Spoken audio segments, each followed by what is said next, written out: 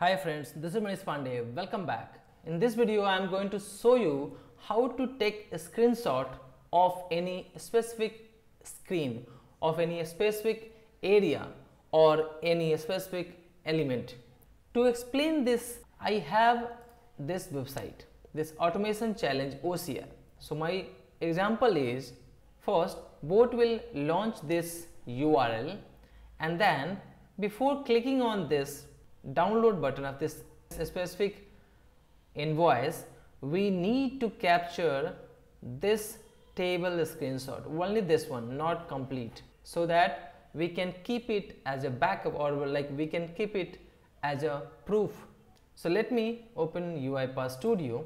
Let me first use here open browser to open this URL let me copy this. And here I want paste that okay so this URL I'm going to open using Chrome browser. Now inside this we'll search for take screenshot. Take this one. Now I want to take the screenshot of this table. So we have this option. Click on indicate element inside the browser. Click on that. Once you click on this one you need to just go to the uh, some cor this corner area so that we can just highlight this as a table so here you can see right we are able to highlight this complete table. And I want to take the screenshot of this table only. So I will just click on that. Okay? Just to verify that we need to highlight you can see it's highlighting correctly. If you want to modify the this selector you can modify. So currently it looks good. It's going to uh, take this table tag equal to table and this is the title and this is the browser. So it shows ms edge okay.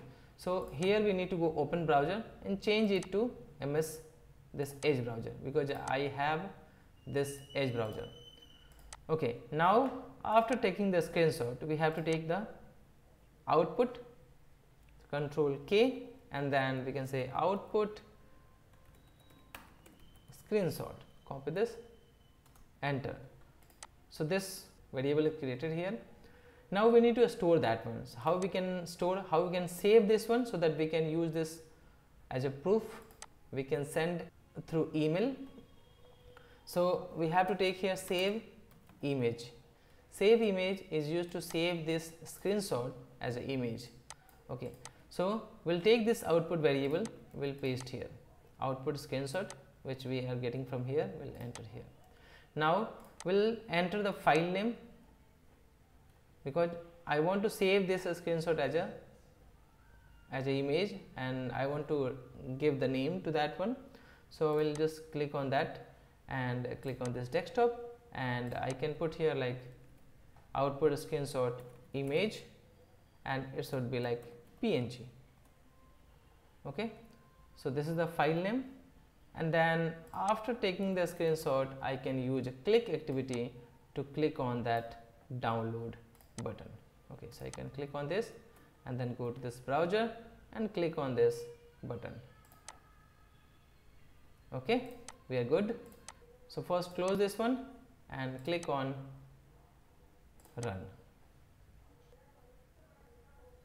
You can see here this URL is launched and now it is going to take the screenshot and then it's clicking on this download icon to download this PDF that invoice.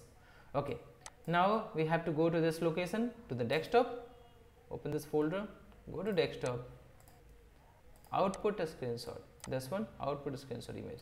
Just double click on that and you can see it has just taken the screenshot of that specific table specific area.